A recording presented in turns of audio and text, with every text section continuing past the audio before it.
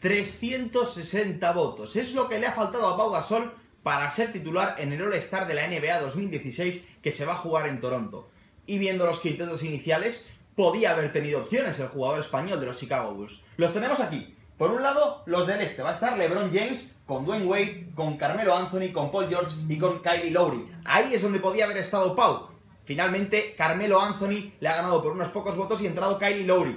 Principalmente, muchos dicen por una campaña que hizo en su favor Justin Bieber y porque es verdad que el, All-Star se juega en Toronto, en la ciudad del equipo al que él pertenece. Y por otro lado está el del oeste, un oeste en el que va a estar Kobe Bryant, Stephen Curry, Kawhi Leonard, Kevin Durant y Russell Westbrook. ¿Eh? Esos cinco jugadores van a estar en el oeste. La duda es sencilla. ¿Os gustan los quintetos? ¿Creéis que son justos? ¿No pondríais, por ejemplo, a Draymond Green para que tuviera más representación unos Golden State Warriors que son históricos? ¿No pondríais también, por ejemplo, algún jugador más de los San Antonio Spurs, teniendo en cuenta la buena temporada que están haciendo? ¿Meteríais a Pau Gasol? Bueno, las dudas son muchas y queremos conocer vuestra opinión. Ya lo sabéis, podéis dejarla en arroba grada1tv en Twitter.